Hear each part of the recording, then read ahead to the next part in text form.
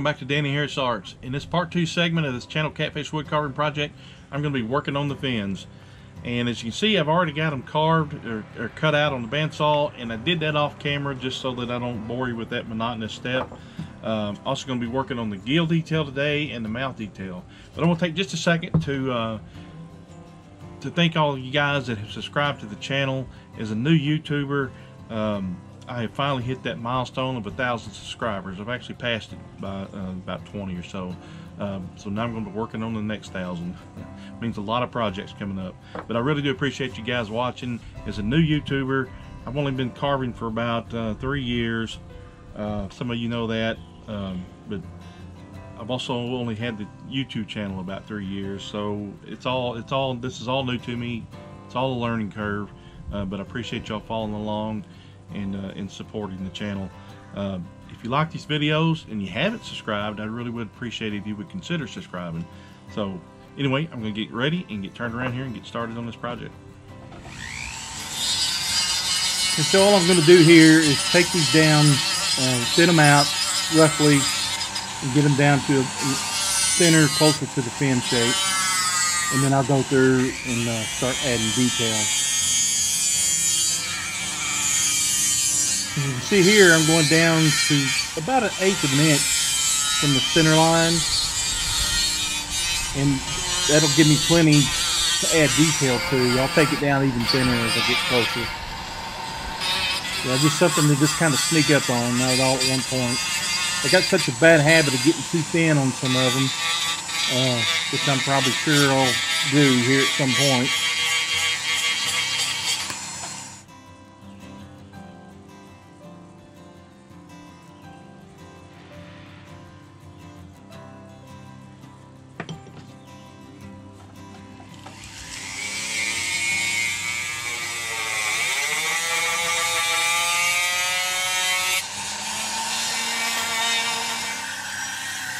Going to do something a little bit different in this video. At the end, I'm going to add a little blooper reel. Um, kind of show you I'm human and I mess up a lot. so hope you'll stick around to the end to see that.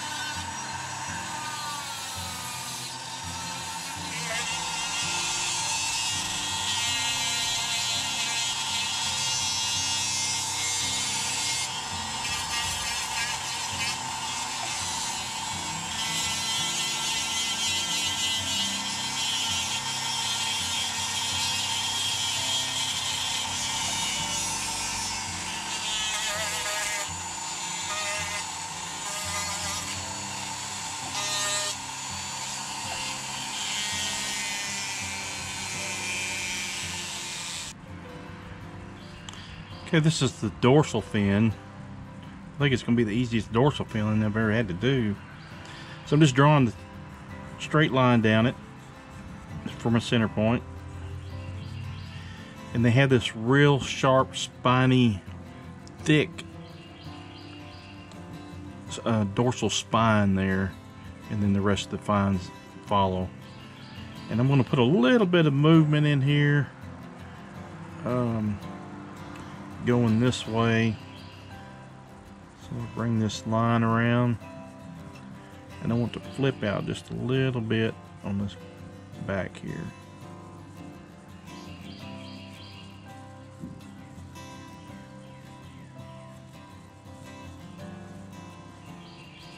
So it'll be rolling just a little bit that way.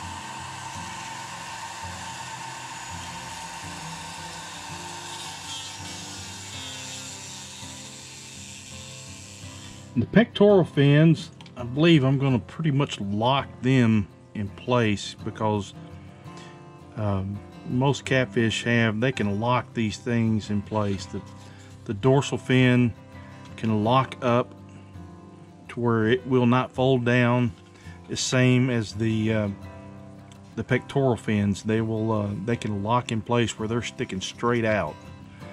Uh, and I think that's kind of what I want to depict here or at least have them out flared out with maybe just a little bit of motion in the fins but they lock they can lock those in place um, and I'm assuming it's for predators that can't make it harder for them to swallow they lock them fins in place and it's almost impossible to get anything uh, unless it's a huge fish to to get it down.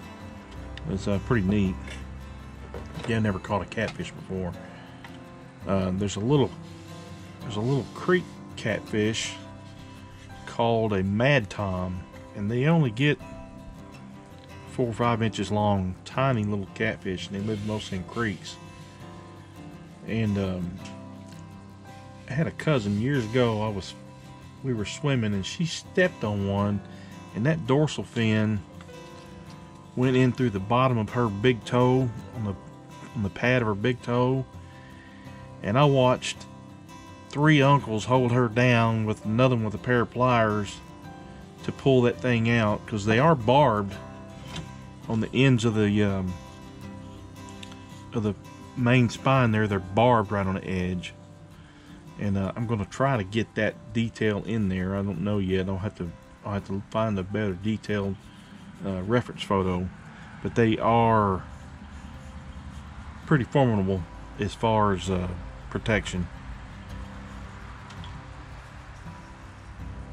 I want to take just one quick second here. Um, where'd it go? Um, oh here it is. You know I'm talking about people that subscribe to my channel and so I get a lot of people that call me and talk about and ask me questions and I you know and I answer them as best I can uh, from you know from what I've learned. But I had one uh, subscriber his name's Travis Hunter and he saw my videos back when I was using Lexan plastic on um, on some of my fish and uh, so he was interested in using that on his projects and what what Travis does is he makes these uh, fish decoys.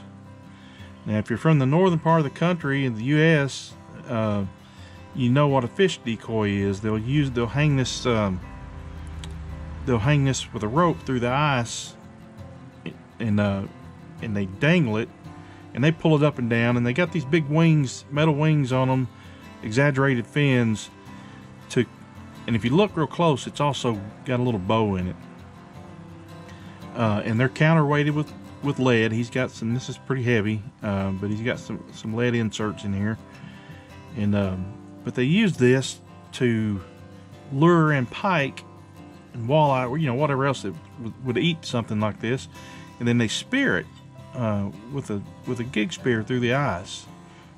And being down south from where I am here in Arkansas, nobody ice fishes here because lakes very seldom, if ever, freeze over thick enough to get on the ice fish. So uh, a lot of people down south here don't know what these are. Uh, but I've seen guys on YouTube make them. But anyway, Travis uh, Travis Hunter makes these, and uh, he sent me this for the help I gave him on the uh, on carving the fins, and uh, just I really appreciate it. A little black crappie. it's a neat looking little piece but I can see where it would make a great decoy to attract other fish. And with these, um, with the with the curve being in it and these wide, exaggerated fins, they act like as uh, they act kind of like planes, or like the wings on a plane. They keep it uh, upright, and when they pull it up, it'll it'll circle and it'll make circles. And and then when they let it back down, it'll spiral down uh, to attract the other fish. Uh, Travis don't have a YouTube page, but if you're interested in uh, a fish decoy, if you're up north and you want to, and you're looking into collecting fish decoys or using fish decoys, uh, leave me a comment in the comment section below and uh, I'll get you in touch with Travis. But I really appreciated him sending me this. Is pretty cool. I really like it. Anyway, um, and I've had some other subscribers send me things. Um, Ron Gableman of uh, Crusty Cranks and Basswood Carvings. Ron contacted me a couple months ago or last year and uh, asked me if I'd be interested in doing a um, video vlog on his um, Basswood Carving channel. Um, he's a chip carver, so he does mostly knives and little uh, caricature, little figurines. And uh, so I came on and we did the uh, show, and I'll put a link to, this, to that link uh, to that video down below if you hadn't already seen it. Uh, but Ron also has Crusty Cranks and um, he makes these beautiful hand painted crankbaits and lures. And they are just phenomenal. And um, Ron sent me some. I kind of helped him out on some uh, scale burning tips. And uh, he was kind enough to send me all these crankbaits that he's made and this man I can see I haven't used them yet but that's going to be a, a, walleye and bass catching uh, lure right there on Lake Ouachita one of my favorite lakes around here. So was this one little square bill. Um, but all of them are beautiful. Um, he's got some jerk baits uh, beautiful jerk baits. That's a fish catching uh, lure on Lake Ouachita and then uh, made some top water poppers kind of like a Pop-R. Just beautifully handcrafted hand painted just highly detailed. So check him out. He also does some um, soft crank uh, plastic worms trailers and I don't have any of those out here. Um, and I got more crankbaits he sent me but I gave I gave a lot to my son and uh, kept a few for myself. But I really appreciate him. Uh, when, as I was getting closer to a thousand subscribers, he he sent out an email blast to guys in his carving club and had them come out and um, kind of help put me over the edge of a thousand. So I really appreciated it. So appreciate y'all letting me stop and talk about my friends there for a minute. Uh, it's really neat that uh, this channel, I really didn't ever think about it, but I've got guys from all over the world, all over the country here that uh, that follow me, and we chat and we talk a lot. Uh, I've got guys in uh, Iceland, and I'm not even going to attempt to pronounce their names because I can't. Uh, but I've I've been talking with one guy over there uh, that's actually two different guys. one of but one of them is making a big steelhead, and I made him some um, some uh, scale burning tips to burn the scales on this huge steelhead he's making or he's carving. And uh, problem is, I don't speak his language, and he don't speak my language, but he's got a friend that um, that he'll send the text to or the messages to, and he interprets them for him. Um, Facebook has a little translation thing. If, if it's a foreign language, you can hit a translation, but it's hit and miss. It's sometimes it's hard to get uh, the gist of what they're talking about. But uh, but anyway, it's really cool that uh, that I've got followers from all over the all over the country and all over the world. I never really expected that. I really didn't think about that when I started this channel. Uh, but it's really really neat, and I'm really excited about the future of it and where it's going. Um, so I'm going to get back to this now. I've, I've yammered long enough. So let me get back here what I'm doing here.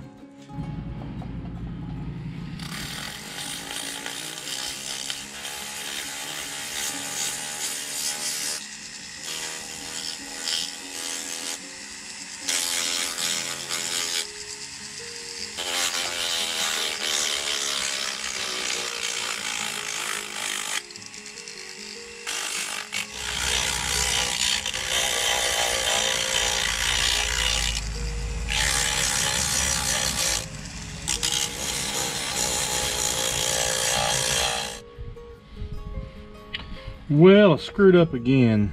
I got the tail too thin right there. It's going to be hard to put any detail in that. Dadgummit. Trying to get it thin to make it look more realistic and I've gone overboard. So we'll see how it goes there. I don't know how, I I'm going to fix that. Um,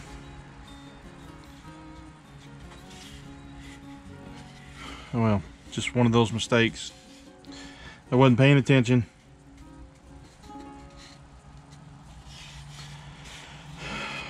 Almost thinking maybe cutting the tail off and cutting, making a new tail and then attaching it.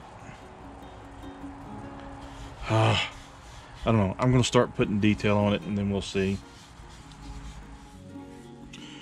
So I'm drawing these on. And they have about 15, as best I can tell, 15 rays in their tail fin. Then they've got some little uh, short ones up here on the side. There's 15 rays on the main part of the tail. So I went through and I marked little tick marks till I got it straightened out to where it was even across. Alright, so I'm going to get my diamond bits out here. Oh, I think it's going to be too thin right there, but I'll try it and see.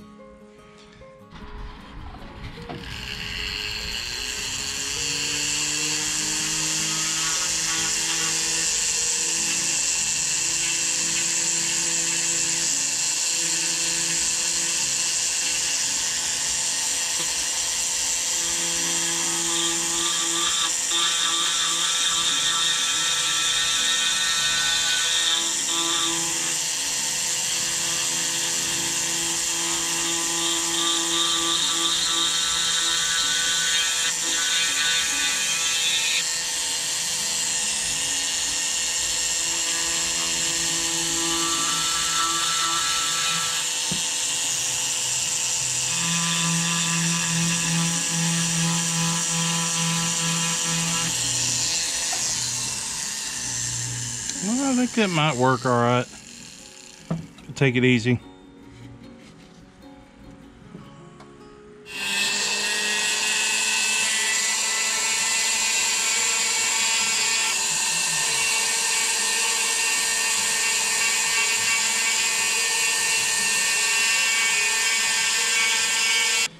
Okay, I went through and made the small spines the gaps between the spines with a smaller diamond bit. What I'm doing now is I'm going over with a bigger bit and that'll kind of round them out take away the square edges. So I went from went from this size to making the gaps in between for the spines to this bigger one.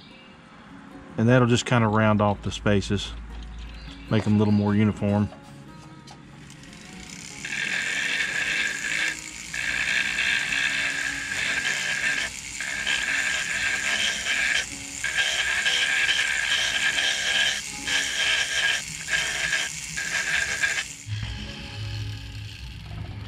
Now what I'm going to do is I'm going to take this little flat tip diamond bit and I'm going to go on the edges of all of these where they split and start putting the little splits in them.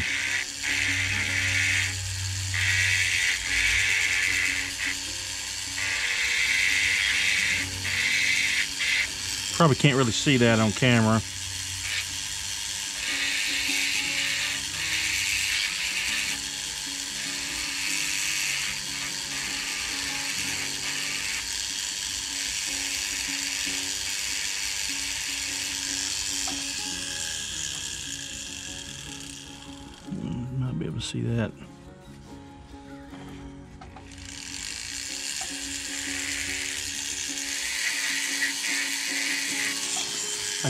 Burn these in with a wood burner, but I prefer doing them with the bit now because The wood burner leaves a little bit too deep of a a cut and it, it doesn't take paint well. Uh, I think these look a little more natural when I use a bit versus a wood burner.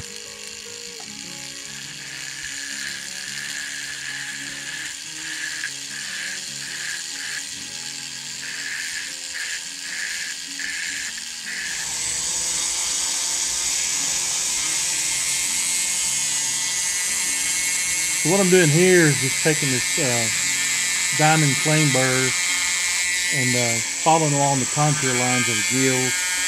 And the catfish is, is more rounded, not quite as defined on a uh, scaled fish. You can see them, but they're just not as prominent. Um, so I just go around and follow all the, the lines of the gill detail, or the gill detail I got drawn in, and then I'll feather it back towards the body and then uh, and after that I'll do a final sanding to blend it all in.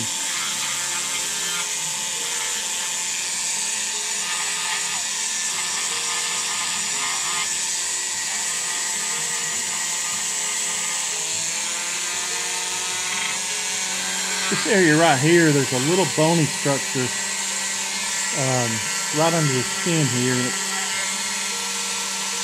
It's part of the locking mechanism of the pectoral fins.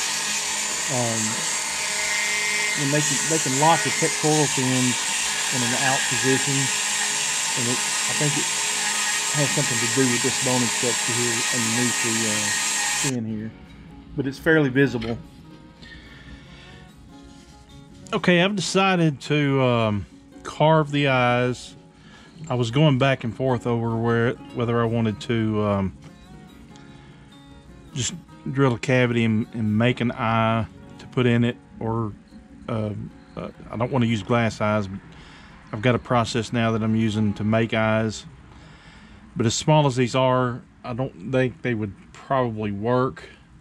So what I'm going to do is I'm going to use this bit here that I made. Uh, you can buy a bit that'll carve out the circle hole for an eye, but I didn't have any. Um, so what I done here was I just took a little quarter inch bolt and rounded the head off down to the size I wanted of the eye. And then I used a um, diamond bit to hollow out the inside of it here. So, and what that'll do is that'll give me a uh,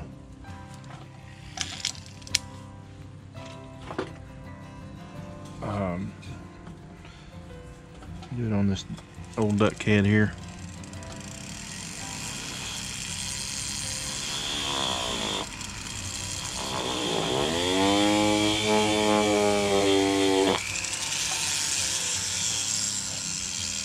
So it's going to give me an eye. And I didn't make it real shallow. I mean, I, I made the indention kind of shallow because I want it just a little bit flat on the top because I'll I will um, use epoxy um, UV epoxy to build up the eye cornea so I'm going to use that here And I gotta make sure I get it right.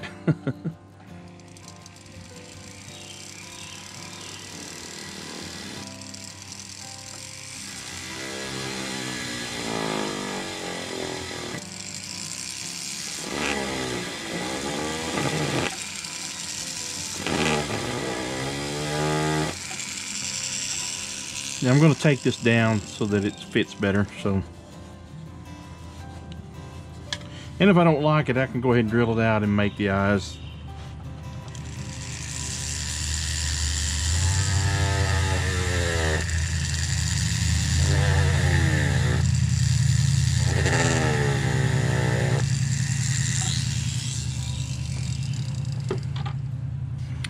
Okay, there's the eyes. Now I'm going to go ahead and take down edge of this here.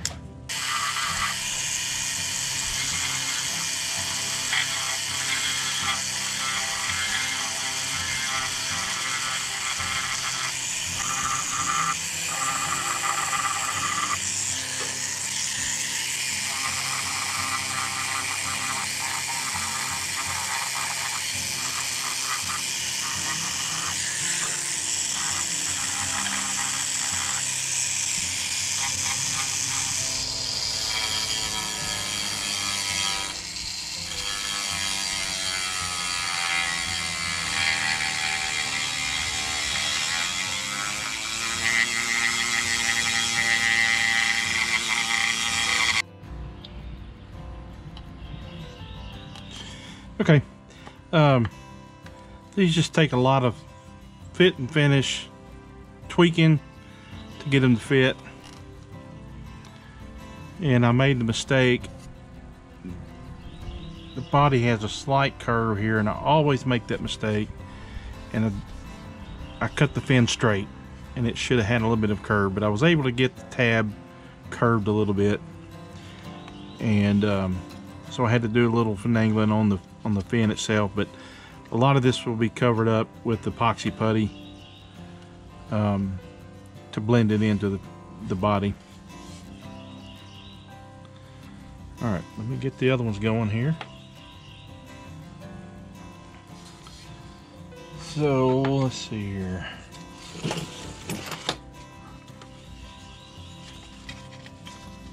Will give me a rough idea of where the dorsal fin goes. I'm going to do it next.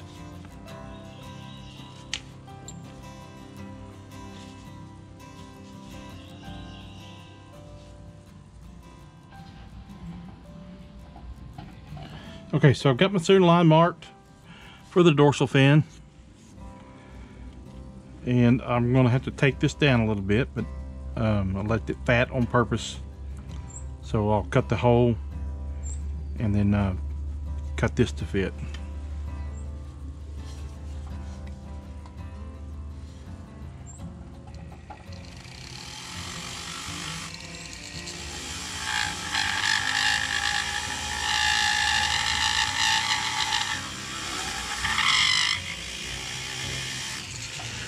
this little bit here I think I've showed it before but it makes the perfect it's just a, a rough carbide it's not even carbide it's a uh, uh, like a stone bit. I know it might be a smooth I mean fine carbide. But anyway it's round and then it gives to the shaft it gives the perfect depth about a little over eighth of an inch deep 3 16ths maybe. And all I do is just go down until the shaft touches the body. And I got my hole. So what I got to do now is um, cut this to fit. Okay I cut a little length off of it here. And then I'm going to use this bit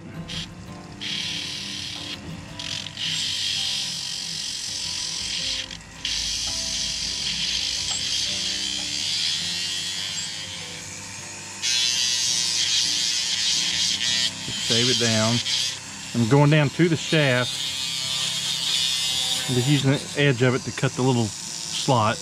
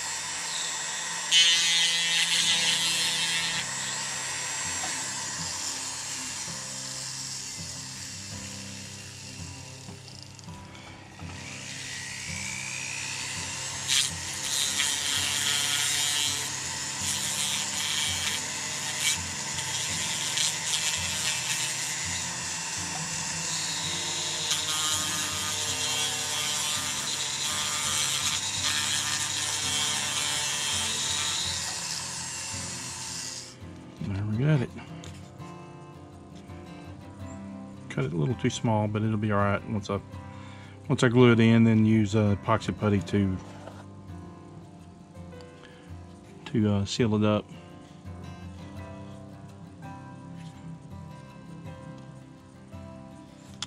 So let me get started on that, and I'll be back. I'm going to start on the uh, pelvic fins here, or the pectoral fins. Get the, get the slots cut for them and get them cut apart and uh, fix the hole for them.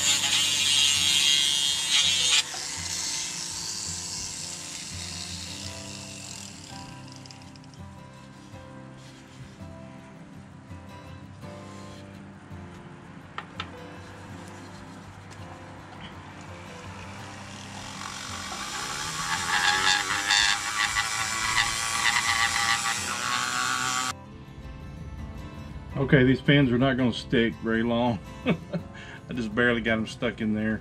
Uh, but that's going to be it for part two of the Channel Catfish wood carving project. I got the fins done today, and like I say, they're just temporarily stuck in there. Uh, got the gill detail done, the eyes done. I didn't get to the inside of the mouth, and I'll probably do that off camera just because it's so hard to do. Let me take these off because they're going to fall off. But you can kind of get the idea of how those are looking there uh, and the detail on the bottom. But uh, I, I, think it's turned out pretty good and I like the way it's uh, coming along. Uh, I still got to do the whiskers the inside of the mouth and clean up this uh, gill cover detail here and then it'll be ready to go on to sealing um, and painting. So um, probably gonna do the whiskers off camera just because I'm, I haven't experimented with it yet um, but I will show you them as I get them made. I do have a, a link, then I'll put it up here again. I put it in the first one, but I do have a link uh, to the deer antlers that I've done using the polymer clay. So I'm going to use the polymer clay uh, for the whiskers on this one as well. So um, if you have any questions or comments, please leave them for me in the comment section below. And uh, like I asked at the very first of the video, if you like these videos, uh, I appreciate if you consider subscribing if you haven't already. But I will see you guys on uh, part three. Hi, welcome back to Danny Harris Arts. In this part two, uh, oh come on, get it together, get it together, Danny. Hi, welcome back to Danny Harris Arts. In this part two,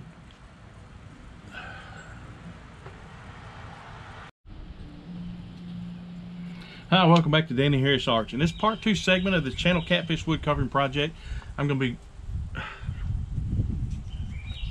you haven't already, and you like these videos, I'd appreciate it if you'd consider subscribing. Bugs.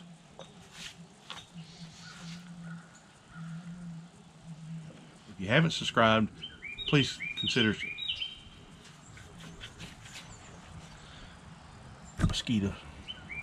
Get out of here. Let's try this again. Hi, welcome back to Danny Harris Arts. In this part two segment of this, uh,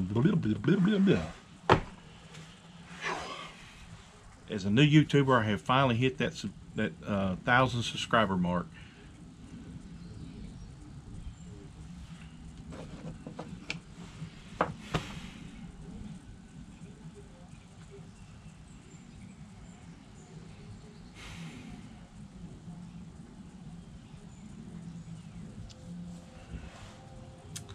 don't know what to say.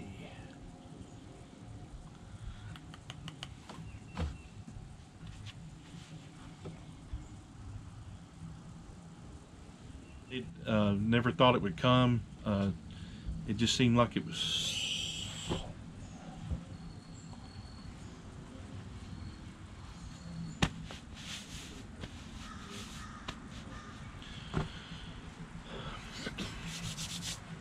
um, blah, blah, blah,